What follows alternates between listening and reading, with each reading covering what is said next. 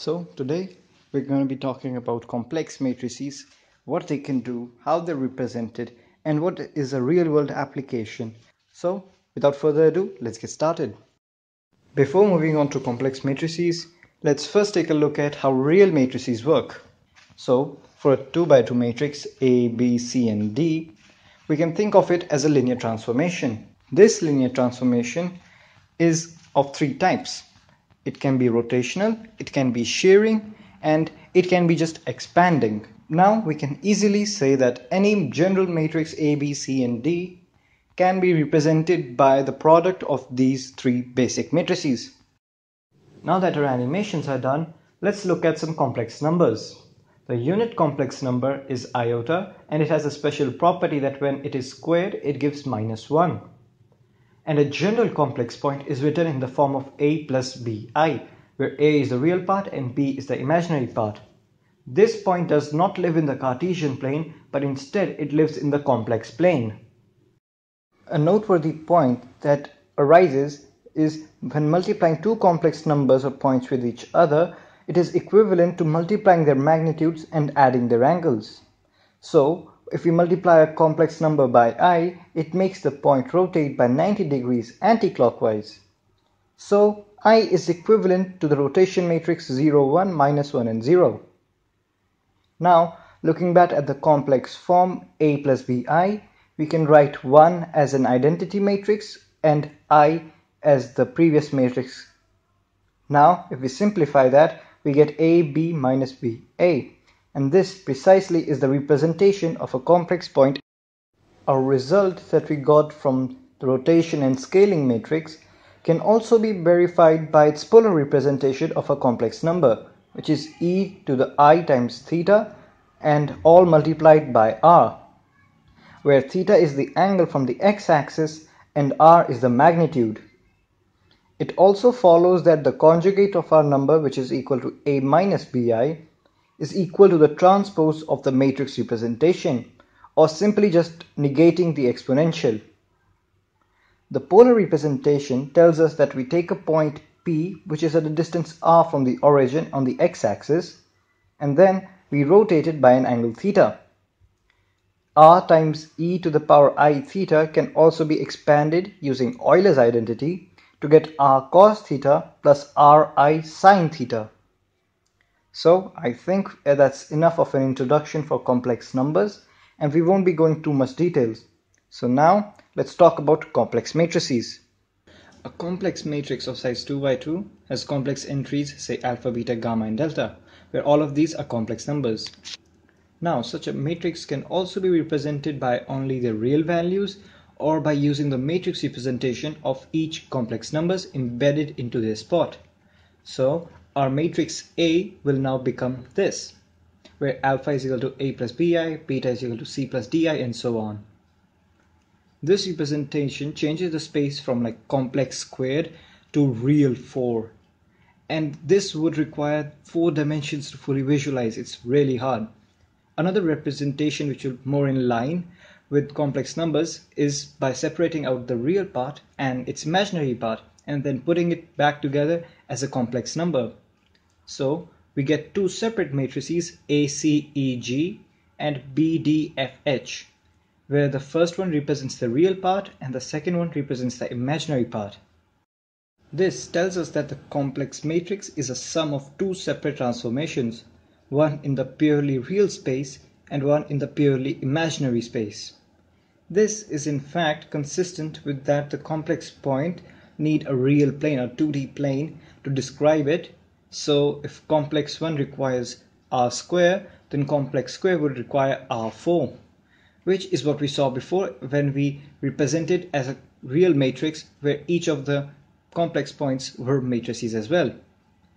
You know, let's go back to that and take the 4 by 4 matrix representation and let's transpose it. Well, and now we convert it back. We break it into separate chunks and then we convert it back into a complex matrix. Here we see that the it becomes alpha conjugate, gamma conjugate, beta conjugate and delta conjugate which somewhat resembles the original matrix but it's with a twist. It is transposed and it is conjugated as well. This special conjugation is called the conjugate transpose of A and is equivalent to the transpose of the real matrix associated with it. That's a fun fact. In the previous two simplifications of a complex matrix, we missed out one crucial detail, intuition. Now, with this visualization technique, it should hopefully be even clearer how matrices work their magic by visualizing how it affects entire complex vectors and their plane. So let's start with how the visualization is going to occur and how we can make sense of it. And then we'll look at what the visualization actually tells us and we see some few animations. Let's start. Now let's take the first component of v dash. We get alpha small x plus delta y. We know that alpha and delta are complex numbers. Hence, as said before, they act as rotation and scaling matrices. So our complex point small x and y are each rotated and scaled separately and then added. An addition of two vectors is equivalent to the translation of one vector with respect to another. So a vector plus b vector is equal to a vector being translated by b or b vector being translated by a. Hence, we can say that the rotated vector small x is translated with respect to another rotated vector. So let's replace small x with a capital X, which is the previously mentioned region of space where small x lives. Now our component becomes alpha times the plane of x plus delta times the vector y. Now from this we see that the plane slash domain of small x is rotated and scaled and then is translated by each and every complex point in the domain of the rotated y. And similarly, beta times small x plus delta times y becomes beta times the domain of x plus delta times small y. And it's the same thing. Let's again look at the animation of this. All these methods now allow us to appreciate complex matrices as a linear transformation in the complex squared space. Now let's look at some specific types of complex matrices and understand where they are used. Let's start by some specially cool matrices called the Pauli spin matrices. And they're exactly used for what they sound like, for spinning and rotation. Is that in 2D? Nope, it's in 3 dimensions. But it's just 2 by 2 matrix. How? Well, let's find out. It turns out that the Pauli spin matrices sigma x, sigma y and sigma z represent the 3D space, but in a complex space. These matrices are actually defined from the relation sigma x squared is equal to sigma y squared which is equal to sigma z squared which is equal to the identity of 1. Another property that which define them are sigma x times sigma y is equal to i times sigma z and sigma y times sigma z is equal to i times sigma x and again sigma z times sigma x is equal to i times sigma y. Now let's represent a 3D vector in the form of Pauli matrices like we did before with the normal basis vectors. So, like before, we take the linear combination. The vector m is equal to a times sigma x plus b times sigma y plus c times sigma z, where sigma y, sigma z, sigma x represent the basis for the 3D space, and a, b, c are the components of the 3D vector. Now, we get m is equal to the matrix c, a plus bi, a minus bi, and minus c. Now, we have a way to represent a 3D vector as a 2D complex matrix. Again, taking the compact form, M can be written as a dot product between the vector ABC and the vector containing the Pauli matrices sigma x, sigma y, sigma z. And we can write this vector as just sigma. So M is equal to V dot sigma. V is our 3D vector and M is its representation in the traceless Hermitian matrix form. A traceless Hermitian matrix is just a special name given to the matrix which has the diagonal components are real and the traceless means that the diagonal component sum is equal to 0. Okay, now that we have described how we can represent a vector as a complex matrix, let's talk about planes. We'll be first talking about the normal xy plane. Well, it consists of one part x-axis, one part y-axis and zero part z-axis. Or talking in terms of planes, it has one part the xy plane, zero part yz plane and zero part zx plane. So any general plane again can be written as a linear combination of these three planes. So axy plus byz and czx.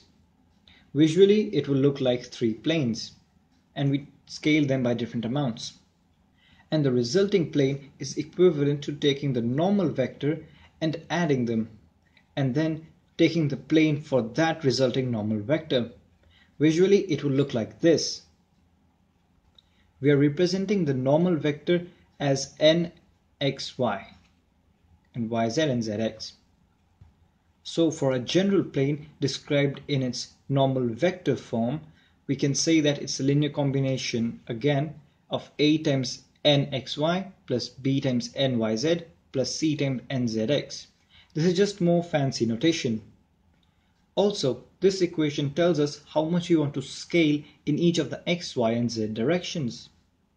Since the normal for the xy plane is z-axis, yz plane is x-axis and the zx plane is y-axis, we can simplify further in terms of the Pauli matrices.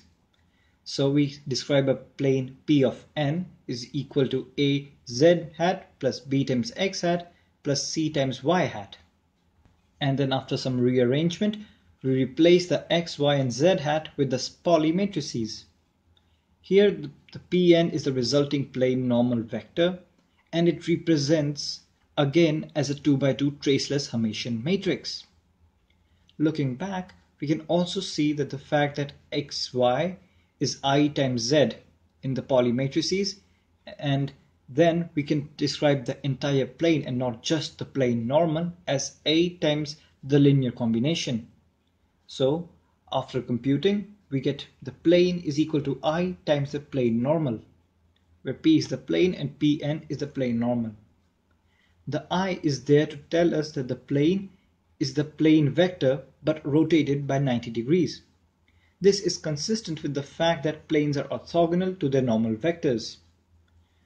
Wait, if we take the Pn, it's a traceless Hermitian matrix. If we multiply it by i, we get this, which turns out to be the general skew Hermitian traceless matrix. A skew Hermitian traceless matrix is like the Hermitian matrix, but it's multiplied by i, and it has a special property that when we take the conjugate transpose, it's actually equal to negative of itself. Hence, a new intuition can be form that a Hermitian matrix may represent a vector and we use a skew Hermitian matrix to represent a plane. It might feel like this is some random way to represent vectors and planes, but this form is actually used quite a bit in quantum mechanics and sometimes in computer science as well. Let's see an application for rotation.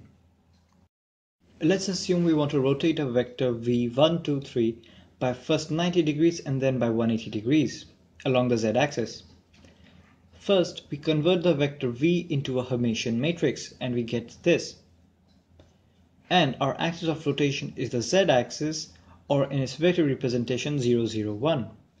Representing it as a vector now as a Hermitian matrix, we get n hat.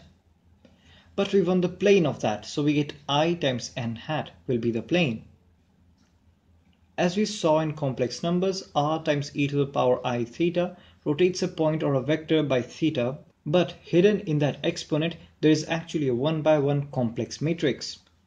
So it becomes r times e to the i theta times h. And since in the 2D case the only plane is xy where we can rotate, so the one by one Hermitian matrix would just be 1, making no difference.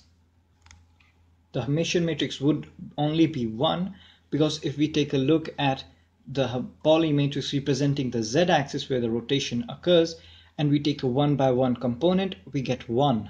But here in the 3D case, it's not a 1 by 1 matrix, but a 2 by 2 matrix. And since we don't want any scaling, we put r is equal to 1. So now our new rotation is defined by e to the power i theta times h. So let's do some math with it. Let's equate it to r. And then if we simplify using Euler's identity, we get r is equal to cos theta times i plus a skew Hermitian matrix times sine of theta. Sadly, we can't describe a rotation this simply because doing v times r is not commutative as v and r are both matrices. So to avoid this problem, we just redefine it. Let's redefine it in terms of half angles. So we rotate it by half and then half again. So this time we define r as e to the minus i theta by 2 times h.